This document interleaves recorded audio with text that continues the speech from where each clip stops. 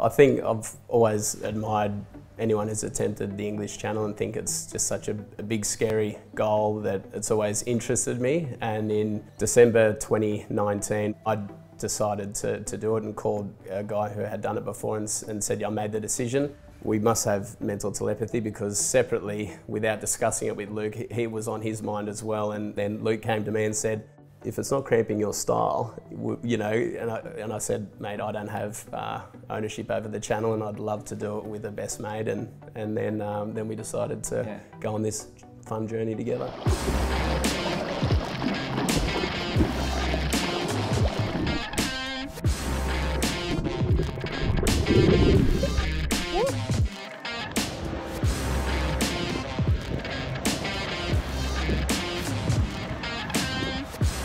Quino, how was that?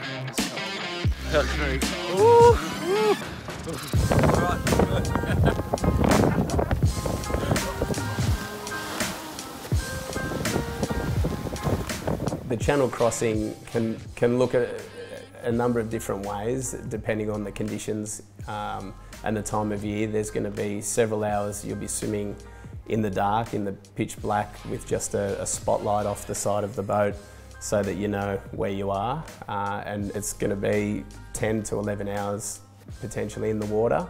It's not just being able to have a technique that holds up in open water and swim for a long distance, but it's about the nutrition and managing energy and, and the cold is, is a big part of it as well.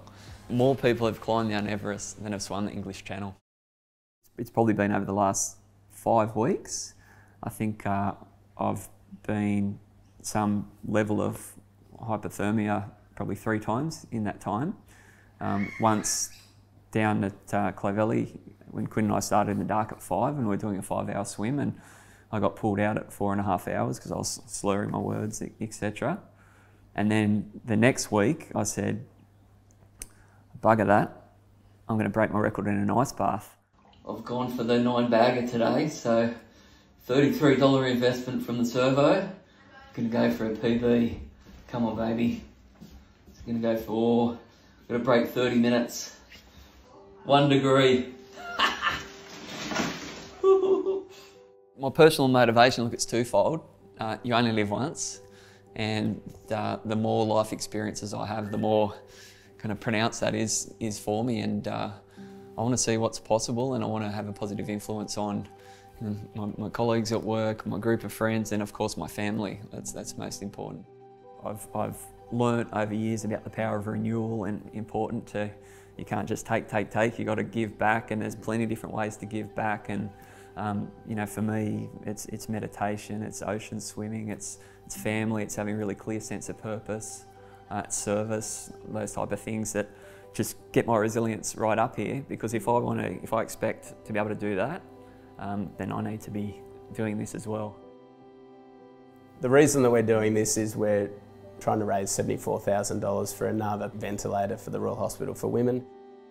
It was, uh, it was grand final night, I remember, and I wasn't at home and Cherie had gone to hospital and then it became apparent that she was, she was going into labour at 27 weeks. Ryder was born one kilo, resuscitated.